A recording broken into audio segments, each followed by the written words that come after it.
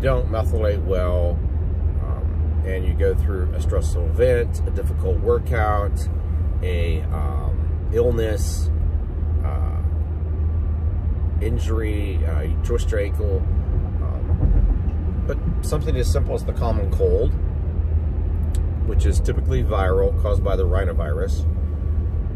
After you recover from the, the virus physically, you may feel fine, you're not tired anymore, um, your breathing's fine, but you may have a persistent. So I tell this story because this happened to me actually when I was in medical school as a uh, fourth year student, I believe. We were seeing patients and it was about two weeks after I had been sick with a cold and I felt fine, uh, but I still had a cough. We were around the patient's room and um, I had to step completely away from the room and the group because I was uh, about to cough. It was going to be obviously uh, loud, so I, I, moved away and I coughed and it went on for a little bit. You know, I was embarrassed because I didn't, I didn't feel bad. I didn't know how to resolve it.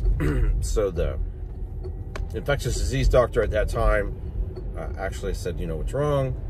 And I told them what had happened and I felt fine, but I still had this cough. Now, in retrospect,